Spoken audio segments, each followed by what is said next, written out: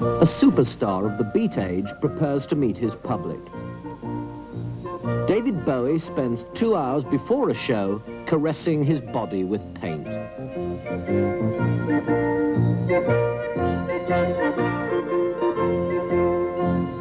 Bowie is a skinny lad with a pasty complexion and ochre dyed hair in a teddy boy style of 20 years ago. Yet with a dash of makeup, he's transforming himself into an object that is worshipped by millions of girls. Outside the winter gardens of Bournemouth, some of those fans are arriving to pay homage to a man who's become the high priest of pop. Every seat was sold months ago. Some fans were even blessed with a glimpse of the master as he scurried into the theatre.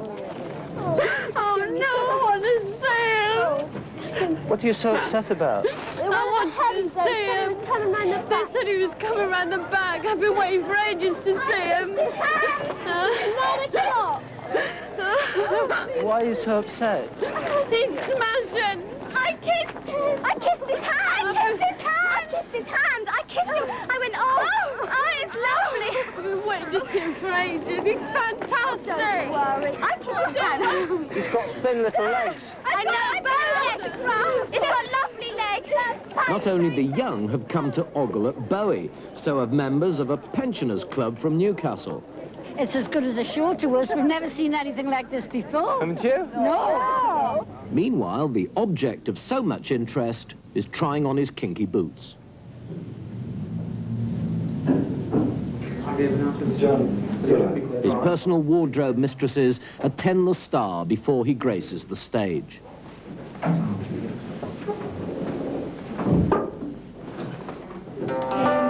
This is the face the public wants. An ex-art student from Brixton, whose dad worked for Dr. Barnardo's Homes, has turned himself into a bizarre, self-constructed freak. Impromptu, isn't it? It is a sign of our times that a man with a painted face and carefully adjusted lipstick should inspire adoration from an audience of girls aged between 14 and 20. Six months ago, Bowie was unknown to the general public.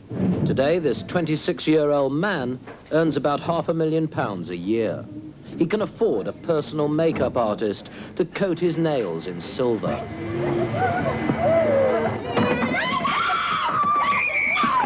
You get nervous still? Do I get nervous? Yeah, joking, yeah.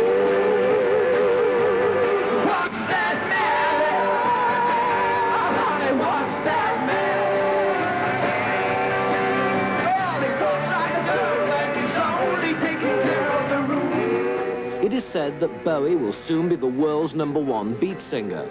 If he achieves such eminence, he'll be the first superstar of pop to wear shorty dresses on stage.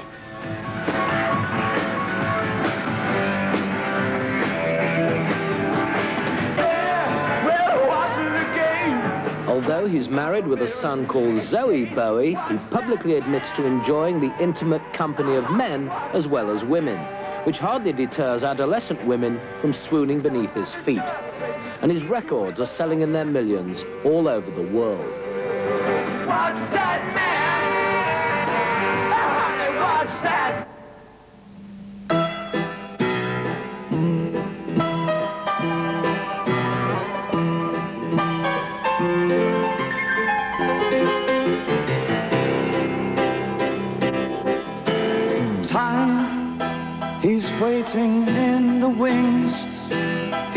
Speaks of senseless things.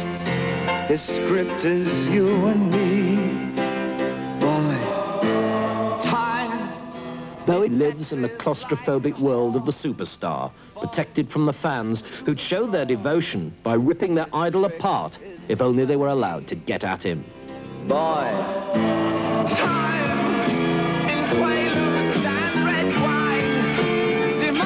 On tour, he's closeted either in his car, his dressing room, or hotel bedroom, surrounded by his bodyguards. Everywhere, there are the girls. Girls from teeny boppers to women in their early 20s. What would it mean to you to be able to go through that door? I could let the face going. I really would. He's just another fellow, you know. Well, It's different. not, nobody like him can produce the music. You know. Isn't it a bit degrading Fantastic standing outside person. the door while he's inside? no Perhaps for him. Sorry? No. Why? It's degrading for me standing outside here. Why? Are you go in there. Don't you find... I mean, why do you stand here? What do you think? They're still there in the morning, locked out in the cold, yet prepared to suffer anything for a chance to see or touch him. Oh, he's lovely. Yeah, I touched him. He's all warm and lovely. What they don't realise is that behind the freakish image, the Bowie circus, right down to the flashy car, is a well-oiled show business machine.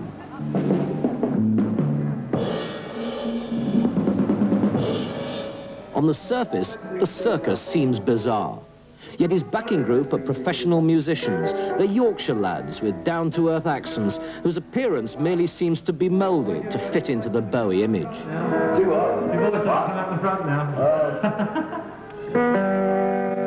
The coach carries a team of 30. Electricians, road managers, sound engineers, stagehands who put up £15,000 worth of equipment to project the superstar on stage. Oh, Behind the scenes, his costumes are professionally cleaned and pressed. During the act, he slips into something new three or four times at least. David's chosen today a neat little model with a fringe. They are. oh, it's all right. Later, he selects a satin psychedelic leotard, and then he's off to the bedlam once more.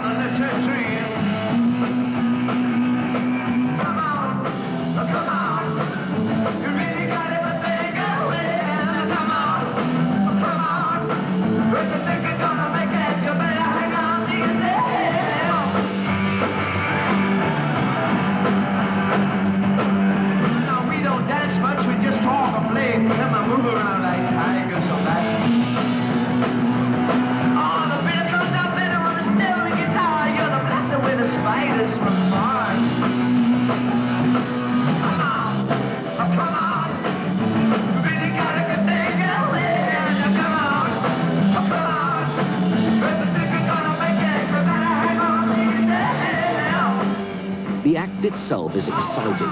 Unseen lighting men and sound mixers provide the stage effects. And then, of course, there's Bowie. Tantalizing, mocking, outrageous. In reality, he's more of a showman than a freak. Hollywood razzmatazz has come to the world of beat. Well, I watch, it says 9.25, and I think,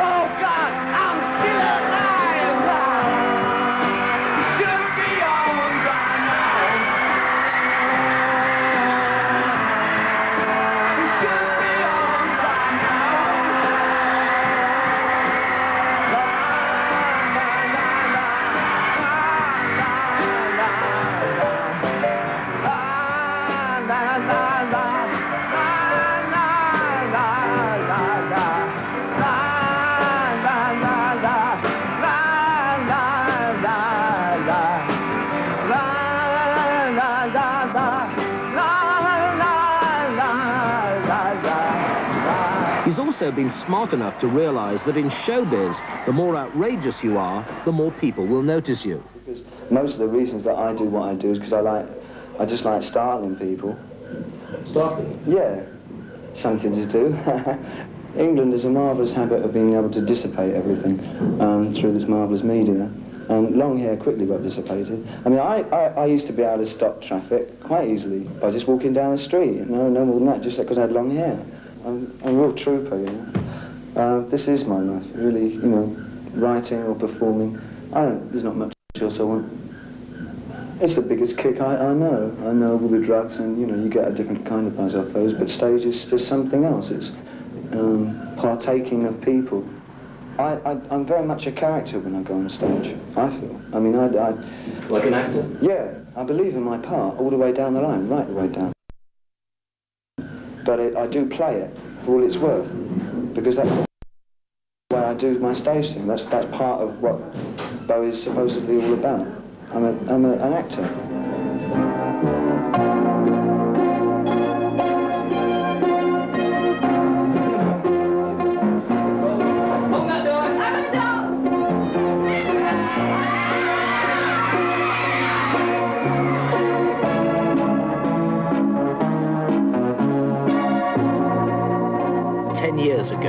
Beatles and Stones created scenes like this, the young saw them and whirled.